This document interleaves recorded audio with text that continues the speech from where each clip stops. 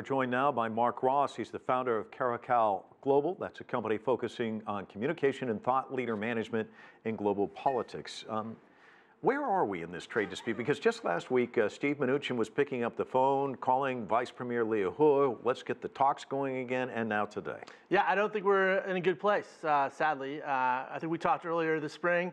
I didn't think we'd ever get here, but here we are, and I don't really see how we're going to get out of it. I think the really the business community should prepare for more tariffs, going into 2018. I don't think we're really going to see resolution until 2019.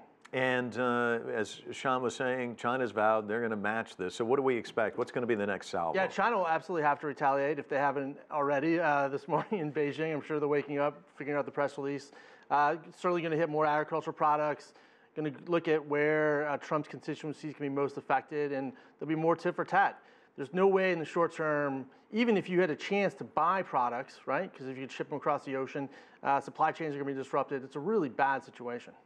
It's interesting. Uh, we have a special election going on in Ohio, which uh, everybody says is very, very close. It was a safe Republican district. Um, Trump says he's got the farmers on his side on this, but but just a couple of days ago, uh, a New York Times op-ed from a soybean farmer in Ohio. He says, I'm a soybean farmer hurt by Trump's trade war. I can't take it.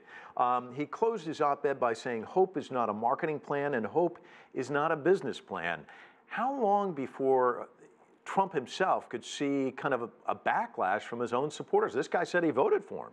Yeah, there's no. I think in the short term we're going to see more and more stories of small businesses being impacted by these tariffs. What's interesting about the tariffs uh, is that Trump is placing them on components, essentially parts that are shipped into the country to, to assemble bigger products. Most countries, by tradition, tax the final good, that is, put a tariff on the complete product.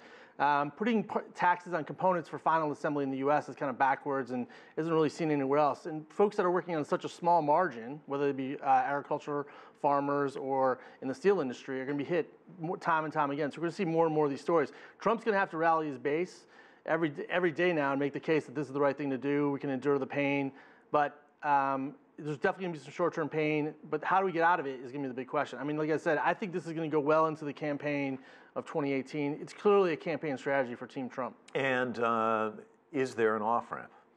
The off-ramp, I think, is after the election. I, I mean, I wish I was more optimistic. Uh, but I think in the short term, I just don't see even the avenue for the two parties to get together. Uh, Xi Jinping has his own constituencies in China that he has to deal with. He's in a really tough position.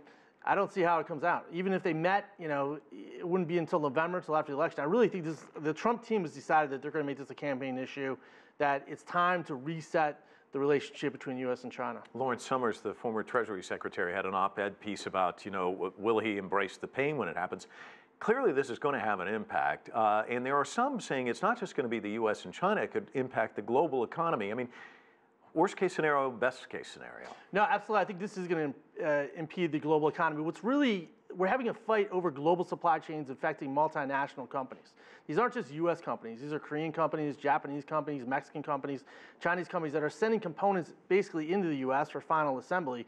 And it's a threat that the, the Trump team probably thinks they can get away with. In the 1980s, the US government went to the Japanese and said, you can no longer ship cars to the US, we're going to slap uh, tariffs on your vehicles. And the Japanese started building plants in Ohio, of all places, actually close to where the special election is tonight. Mm-hmm. And that may be the catalyst to get the thing around. But uh, the world is so much different than it was in the 80s, and global supply chains are far more sophisticated that I think that Trump is playing with an old playbook.